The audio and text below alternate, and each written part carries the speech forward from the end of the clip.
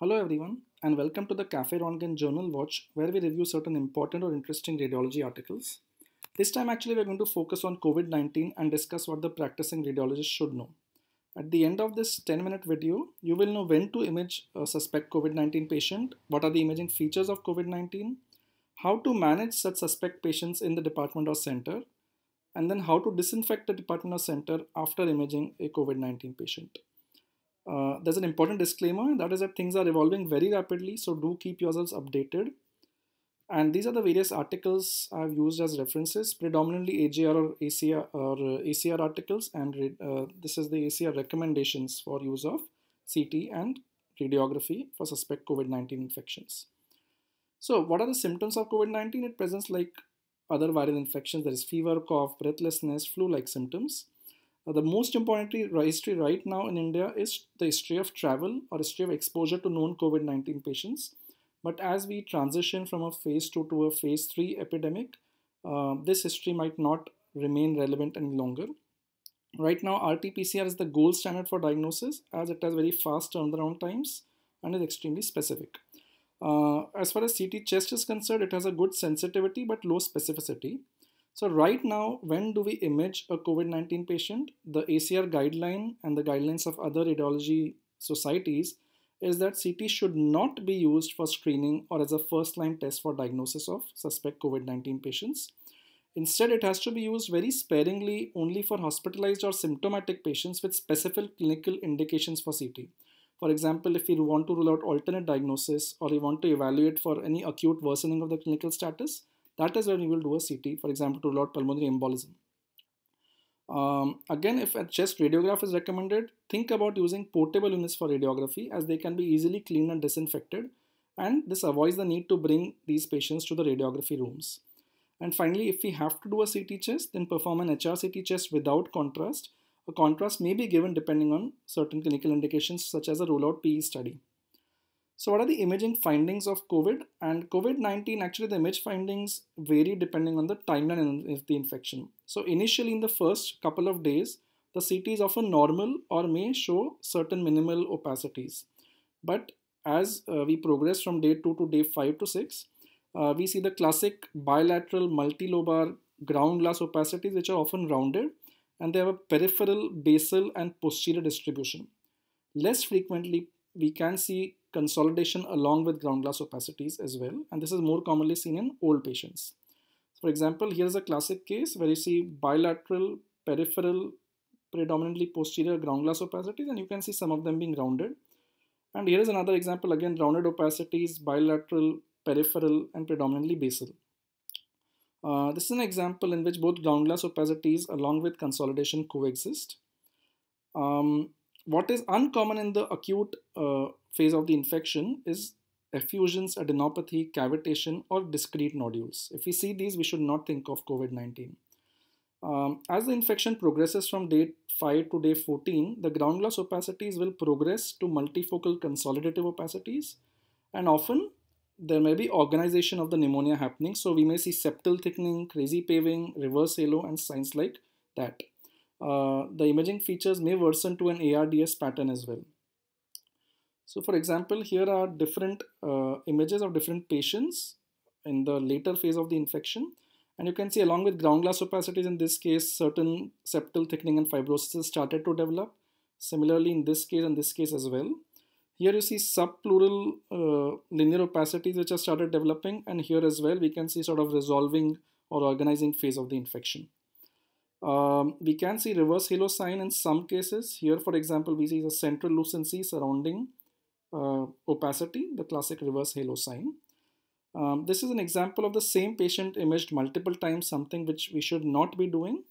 Um, so it started with a subtle small focal ground glass opacity which progressed and new opacity started developing. Later on multifocal consolidative opacity started forming and as the infection progressed they became more and more organized. Uh, so this was done in the initial phases in China when there was a shortage of RT-PCR kits so CT started being used for diagnosis but now that there is no shortage CT should not be used for diagnosis for COVID-19. So just to summarize, initially bilateral multilobar ground glass opacities with a peripheral or posterior distribution is seen, predominantly in the lower lobes. Sometimes you may see consolidated opacities along with GGOs. This is more common in the elderly. And septal thickening, bronchiectasis, pleural thickening, subpleural involvement, these are uncommon but may be seen in the later stages of COVID infection. If you see effusions or adenopathy or cavitation, uh, CT halo sign, pneumothorax, these again are uncommon unless there is disease progression in the later stages of the disease. And uh, in the follow-up CTs, we can see increase in the ground glass opacities, which then transform into multifocal consolidation and septal thickening and organizing pneumonia patterns. Um, after day 14, usually as the patient starts improving, there is gradual decrease and resolution of the opacities. Uh, this is a nice video which you can watch. It's by the Society of Thoracic Radiology and it uh, details out all the imaging findings along with the other findings of COVID-19. The radiology actually starts from around 30 minutes. So if you want to just look at the radiology, look at the last 13 minutes of the video. Uh, the important take-home message is that imaging features are non-specific and they overlap with H1N1, influenza, SARS, etc. So these classic findings, although they may be seen in COVID-19, can also be seen in other infections, which is why CT should not be used for diagnosis of COVID. Uh, instead, uh, even if it's a positive classic appearing CT appearance, we still need to confirm with an RT-PCR. So we should not be using chest X-ray or CT for diagnosing COVID. And uh, these are the British, Thoracic, uh, sorry, British Thoracic Society imaging guidelines. And what they say again, similar thing, um, possible COVID-19 is when we see the classic pattern. So again, it's just possible COVID, not definite COVID.